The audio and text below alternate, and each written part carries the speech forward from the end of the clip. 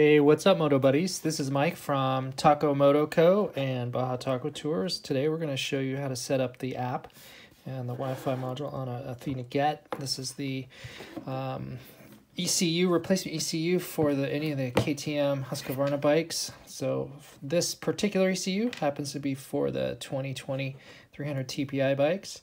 And I've got sort of a a, a, rig set up here. So we're not on a motorcycle. We're here in the Taco Studios, Taco Labs, and we're just working through doing this demo. So the first thing we're to do is we're going to open up our settings here on our device, and then we're going to find the Wi-Fi for the Wi-Fi COM right here. So as I see this, that's the one for this Wi-Fi COM, and this is the first time we've ever put this on a phone. So you have to put in the password, and that's that this PSW number right here. That's the password. So we'll just enter that in. So we're going to join this Wi-Fi. And once we connect here, we will officially be linked in and synced up with this Wi-Fi box. Go into our Get app, and it's going to say that we are finding a new bike. We're going to click OK. And notice here, it's going to take a few moments to go through and read the data from this ECU. So it's looking at this uh, the Wi-Fi box, right now what's happening is the app is talking to the Wi-Fi box, which is looking at the ECU, and it's transferring in the data, the raw uh, firmware data and some of the other calibration data from this particular ECU, which has never been into this app. And I wanted to do this, um, this new ECU, because I've never run it on this phone with this app yet. And so if you see here, it's going to take a few moments to pull in that key data uh, for the first time, the first connect to your box, you're going to get this spinning wheel and it's going to take a few moments as it goes through. And there we are. So now we have this compatible ECU has been found. And are we happy with that? Of course. And the first thing I like to do is name the ECU. So you'd put your name in there. And so I'm just going to put, this is the 2020 300 TPI box. And so I'm going to give this one the name, and there it is. And then the brand's going to be KTM Husky. It's it's technically irre irrelevant what you put in there, whether it's a KTM or a Husky. Um, but go ahead if you want to be specific to the bike that you have. Now notice here, I don't have the 300 or the TPI rather as one of my options. And so when I select other, it's going to, and so the year, and also, one other thing, if you if you're running a 2020, the app has not been updated yet to show the 2020 bikes, and so the 19 is what you'd select on any 20 bike. And for displacement, I'm going to do 300. And the version here is the TPI. So that's where my my TPI shows up. Okay. And if I wanted to see if I touch this picture right here, or the image, I could go in and I could update different um, personal images for my own exact bike. Um, so whatever, there's just some bikes, generic bike, okay? And then I'm gonna be done with that. And so here's the list of bikes that this app has seen before. And this is the one that I want. This is the one I just put in. So the first thing I like to do here is I like to upload into the app the map that you're going to get with your box. So when you buy your box from us, we upload a, a custom specific map to your box for you. And it is, right now it's here in the ECU, but it's not in my app. So if I make any changes, I want to make the changes live here in the app, and I want these two essentially to be synced. I want the maps to be the same. The map that's here, just for FYI, the map that is in the app is the default Athena base map the map that you have in your box is the one that we created for you. And so to update that in the app, we have to customize it. So we're just going to hit this custom. And once we do that, we need to basically import that into the app. So I'm going to import maps from ECU. That's this top option. And there it is. So it just pulled in from the ECU this map right here. And so when I touch that guy, notice the first thing I get phone calls on this. Notice that all these fields are zero. That doesn't mean that there's no data in each one of these calibration fields. All it means is that zero represents the base number that you begin your changes from.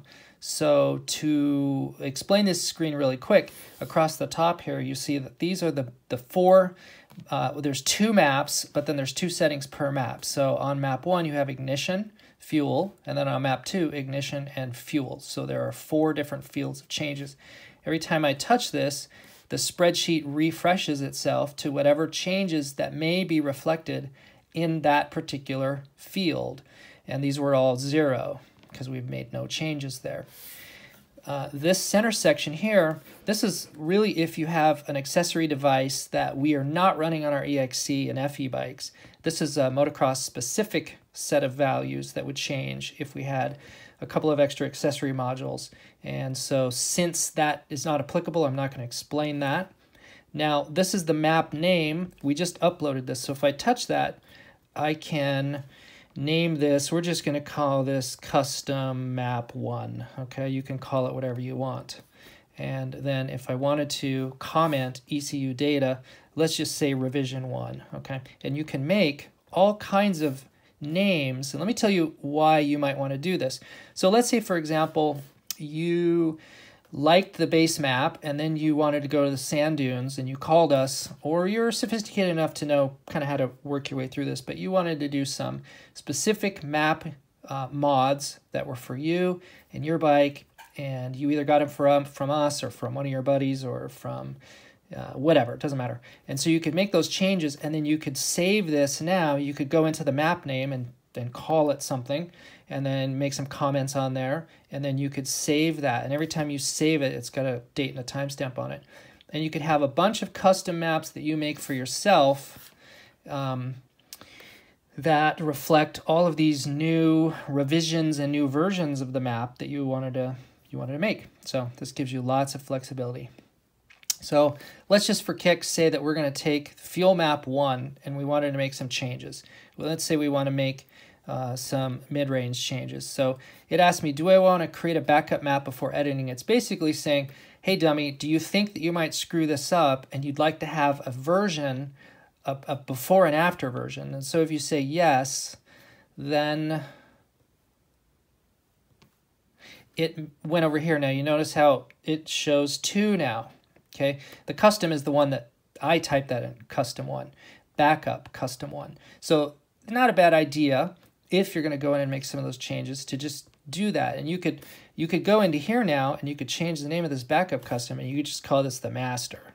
Okay. Never change. Okay. So maybe I'd say never change. I don't ever want to tweak on that. I don't want to make any mods to that because this is gonna this is gonna act as like as my version one forever. Okay, master never change. So now I'm gonna go back into this one, which is where I'm gonna start screwing around. So I'm gonna double touch that, and I don't need to do that again. Do I want to create a backup? No. And so I'm going to go into the mid-range, and I'm going to select, let's say, these RPM value. Let's just go all the way across. So I want to I want to change the mid-range fueling right here. Uh, I don't know why that one's not touching. Let's try this again. Okay, there we go. So I want to change, and let me explain this really quick. So uh, over here on this side, these columns, uh, the 0 through 100, that is percent of TPS, throttle position. So 0% all the way up to 100% of throttle opening. And across the top here, those are your RPM ranges.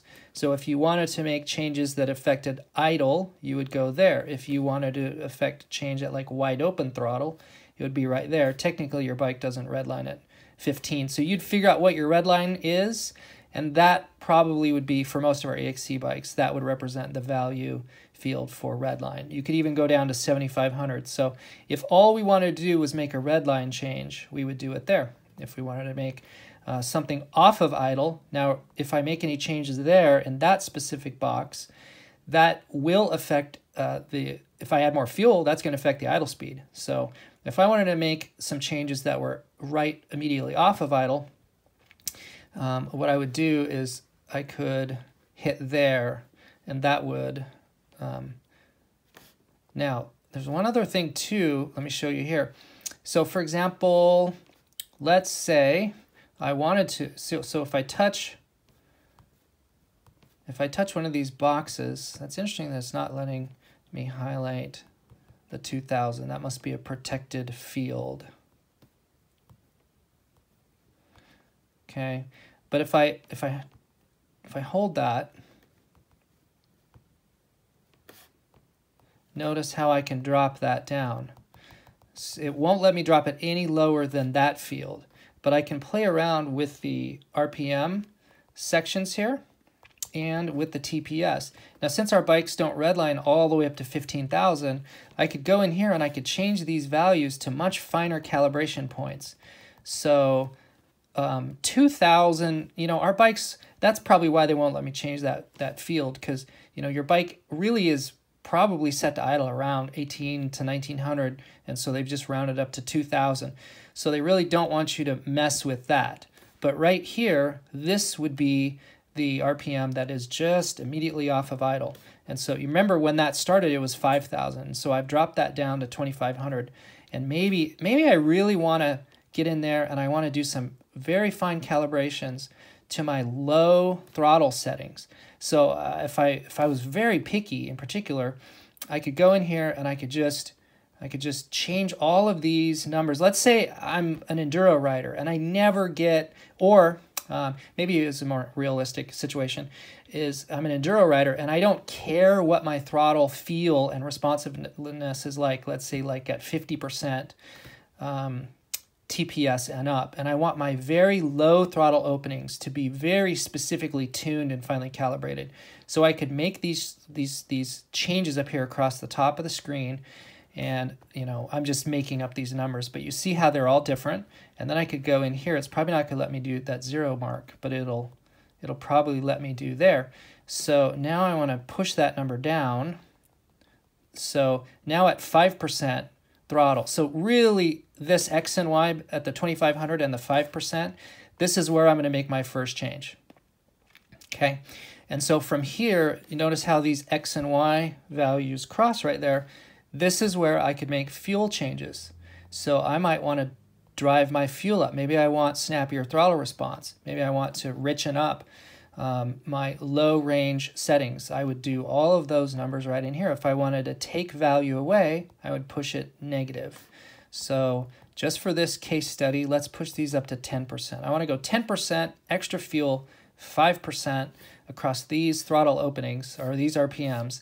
And what the heck, at 70% TPS, and that's not really where we'll redline, but we'll go to there and I want to push that down. So let's say I want to soften out my red line and I'm going to go 10% under, okay? Whatever.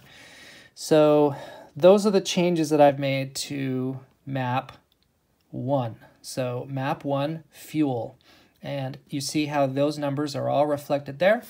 Because I've changed these values in the X and Y headings, they're gray and no longer white. White were just what they were when they were stock. Green are the values that I've changed. So remember when we started, we were looking at, if I touch fuel map 2, um, oh, and one thing is notice how it does change the, it does change those fields. So if I if I make some changes here,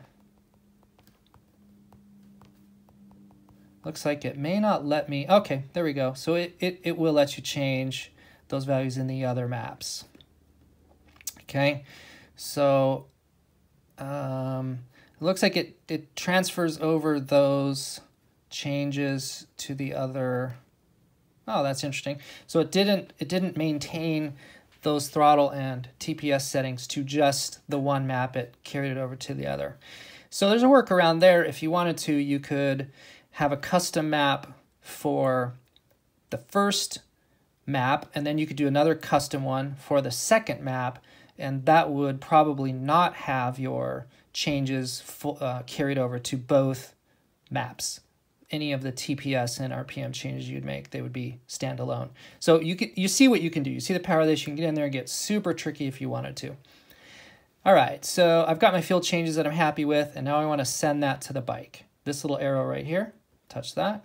Or am I sure I want to update the uh, map in the box? Yes, I do. da da da, and so it's now accepted it. And so those changes have now been overlaid on top of the stock map that was already in there. So we haven't, just to be clear here, we've not changed the raw data in the map. That continues to stay there. And we could default this app if we got, uh, if we were afraid and we had no idea what the hell we'd done and where we were, we could go back in and then we could just sort of like void. Well, there's a couple ways you could do that. You could go into your custom maps and you would just go back to that master map that you'd never made any changes on. Okay, this is exactly your stock base map. You could send that one back to the ECU and now we've just uh, essentially blown out those tweaks that we had just made. So if you did some stuff and you kind of had no idea how you'd gotten there and, and you, you were unhappy with it, you could either go back into your custom and you could, let's see, where were we?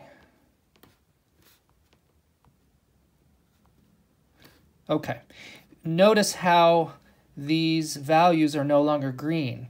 So that's interesting. That means that what that's telling you is those are live in the app or in the in the box. They're only green while they're sitting here in your app. Once you've made those changes, then it's no longer green. And so you kind of have to look very carefully. You notice there's our 10% and here's our 10% plus side and there's our 10% negative. So don't be afraid wondering what happened to those changes. They've gone. They're just not green anymore because it's now been sent.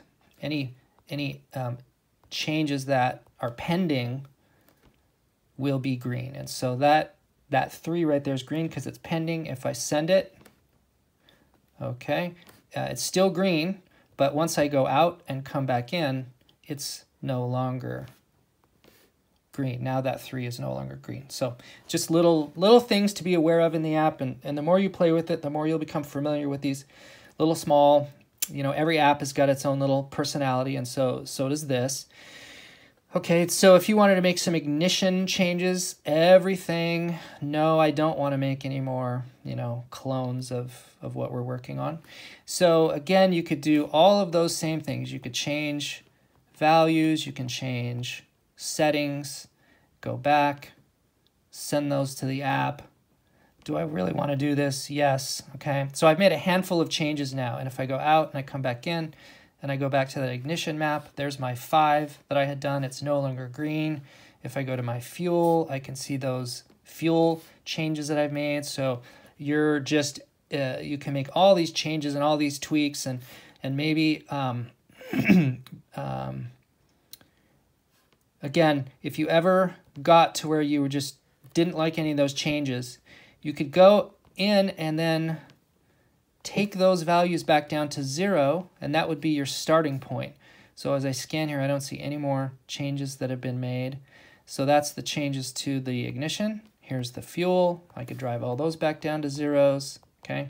So there's any number of ways that you can sort of go back, the changes that you had already made, you could go back and sort of undo them, okay? Uh, what one other little thing here, if I highlight a bunch and I press the button at the same time, it's going to send all those values up together as a group set. So anyway, I'm just clicking and being kind of haphazard here. You'll be much more careful, but you get the idea of how this all works. I don't want to send any of those changes, so I'm not going to press that. I'm just going to go out. So I think that kind of covers what's going on with the custom maps. Uh, the factory maps right here. Now this, depending on what bike you're working on, you'll this may populate out with a few or none. This happens to be one that's called flat. And these are essentially overlays. And, and one thing that I kind of wish the app did was tell you what, what corrections, if any, had been made to the base map. And here, this particular Athena template is called flat, and then, oh, that's interesting, comments, no, no corrections. So flat just means like no changes.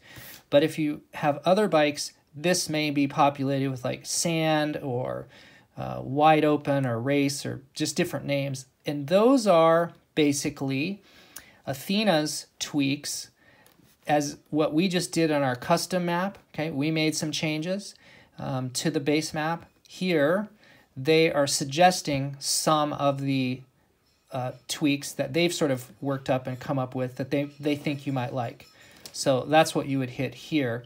And um, we don't use those. I don't use those on top of our map because we've already given you essentially a very customized map. And so to add more customization on top of that is unnecessary other than any changes that you might want to make for yourself, your own custom changes. So we don't recommend using the factory maps. Um, but we do recommend if you wanted to customize on your own through your own creativity or our, or our help or someone else's expert help, you could do that. So just kind of jumping back in here, let's now take a look at what some of these other uh, tabs are. Now the diagnostic, if you had any trouble codes, they would show up here. If you wanted to clear those trouble codes, you would press that button right here. That cancels out the little alarm bell. Think of these as alarms, they call them. If you wanted to clear those, you'd press that and that would clear them. And so if you're troubleshooting your bike and you had some drivability problems, I might ask you to, to screen grab some of these. Now see how there's more that carry down and different bikes will have a different number. But if your bike was having a drivability problem, I might ask you to screen grab some of this, uh, some of these two screens and send them to me and we can help you troubleshoot your bike. Maintenance, that's just going to be um, engine total time. So this is like total runtime of the ECU right now, zero. And then um, uh, ECU factory reset, there might be conditions where I'd have you toggle that to on. And then would I want to restore this? Sure, why not? We'll do it for right now. This is not going to erase or delete the map that's in there. There's just some settings that, that may be, uh, it's like a warm restart. If you're familiar with computers, you do a warm restart. That's almost what this does. This value here, this L, LCGPA, that is a motocross feature, and uh, it has no no functionality in this setup. And then this other option down here is the same. You could turn that off because that's not even an option that we have on this bike. Okay, so that's that set of screens. And then over here, monitor. Now, TPS.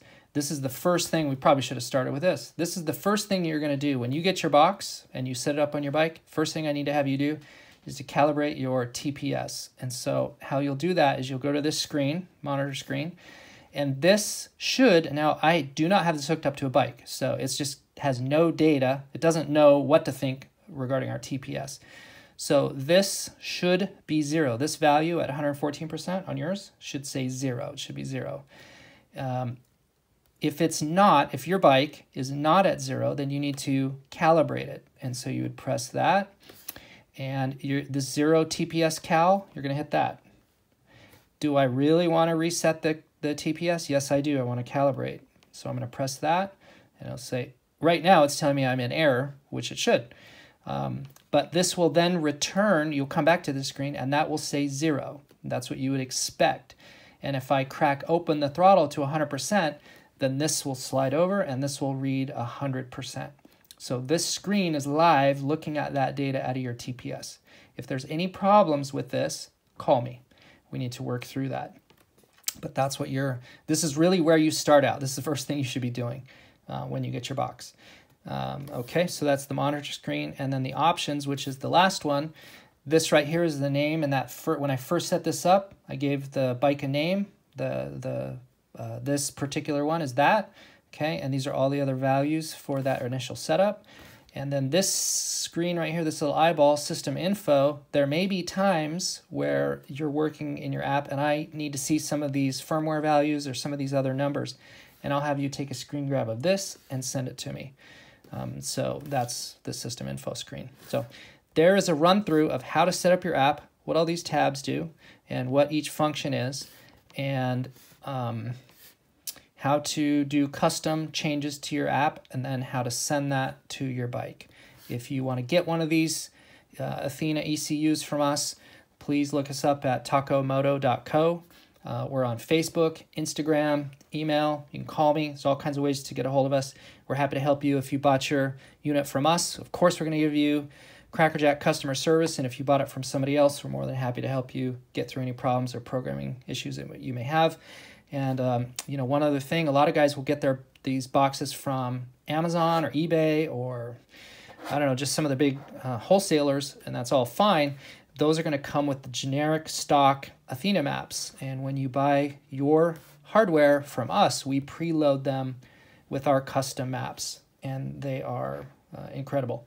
So please look us up. Please let us know if you have any questions, and uh, ask any questions also in the comments if you like. Thanks for watching. Go out there and get some adventure.